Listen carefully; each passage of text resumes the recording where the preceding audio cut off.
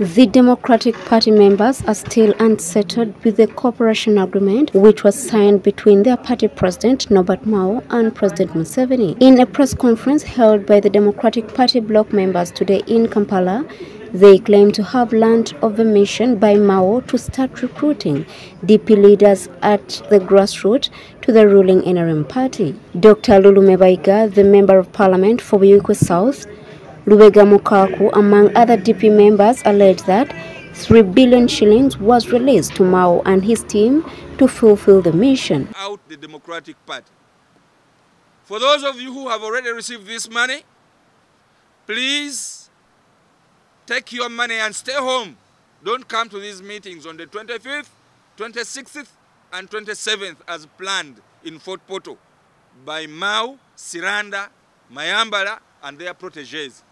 Please stay home. Country is in a crisis now that we do not want such wastage of money on individual projects that are no good for this country, no good for our institutions, no good for our people.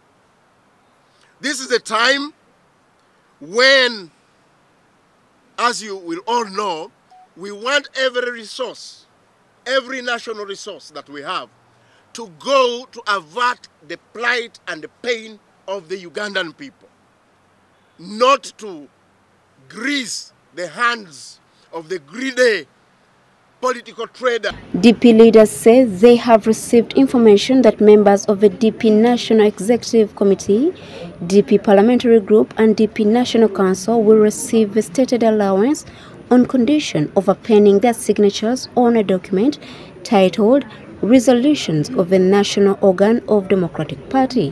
DP bloc members insist that they will not allow this to happen. They still want to see DP as a strong party. But Mao, Siranda, Mbidde, and all these people that we have mentioned should give us a breathe. The idea and the plot for the plot for them to go to Fort Portal as we have said, we are going to investigate and expose them beyond repair to go to Fort Portal in a mission to buy off our leaders so that they can retrospectively ratify the dirty job they have done with Museveni. This is not going to be allowed. Of the expedience of a man who has gotten a job in the NRM establishment, Al Nakba. So we are asking you to be kind to this party and to resist the temptation of wiping out our party because of the money that is being expended to wipe us out.